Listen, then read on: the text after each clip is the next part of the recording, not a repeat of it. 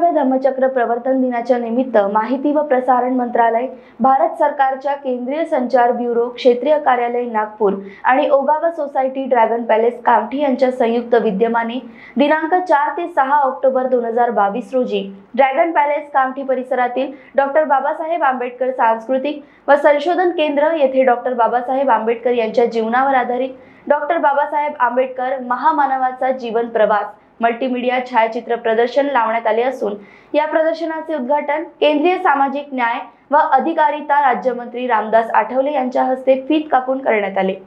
Doctor Babasaheb Ambedkar यांच्या प्रतिमेला पुष्पहार अर्पण तसेच पंचशील ध्वजाचे ध्वजारोहण आठवले यांच्या हस्ते करण्यात आले. यावेळेला त्यांनी प्रदर्शनीची पाहणी देखील केली.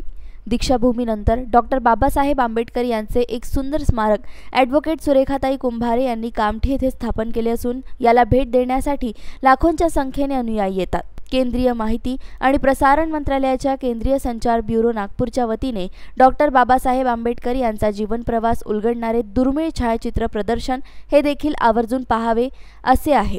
यासाठी अनुयायांनी या ठिकाणी मोठ्या संख्येने येऊन या प्रदर्शनाला भेट देऊन बाबासाहेबांच्या विचारांची प्रेरणा घ्यावी असे आवाहन केंद्रीय सामाजिक न्यायमंत्री रामदास आठवले यांनी केले आहे.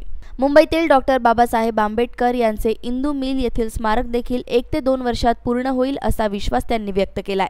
केंद्रीय संचार ब्युरो नागपूरतर्फे आयोजित प्रदर्शन सहा ऑक्टोबरपर्यंत सकाळी दहा ते रात्री नऊ या वेळेत पाहण्यासाठी निशुल्क सुरू राहणार आहे.